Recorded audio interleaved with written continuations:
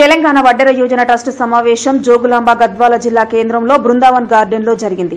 ఈ కార్యక్రమానికి ముఖ్య అతిథులుగా Gadwal municipal vice chairman Babar councillor Puduru Krishna Murali Kotesh రాష్ట్ర అధ్యక్షుడు శివరాత్రి ఐలమల్లు ప్రధాన కార్యదర్శి ఎత్తర గణేష్ రాష్ట్ర ఉపాధ్యక్షులు వరికుప్పల శ్రీశైలం చెన్నయ్య కార్యనిర్వాహక సభ్యులు సూర్యాపేట జిల్లా అధ్యక్షులు నారాయణ ఎల్లప్ప అశోక్ రంగారెడ్డి జిల్లా అధ్యక్షుడు వెంకటరమణ రాష్ట్ర యూత్ అధ్యక్షులు వల్లపు సాయి జోగులాంబ గద్వాల జిల్లా అధ్యక్షుడు మల్లికార్జున్ వైస్ ప్రెసిడెంట్ కృష్ణ ఉద్యోగుల సంఘం పూడూరు కృష్ణ ప్రధాన కార్యదర్శి రాములు జిల్లా గౌరవ అధ్యక్షులు గోవిందరాజులు టీం సభ్యులు మండల టీం సభ్యులు తదితరులు పాల్గొన్నారు.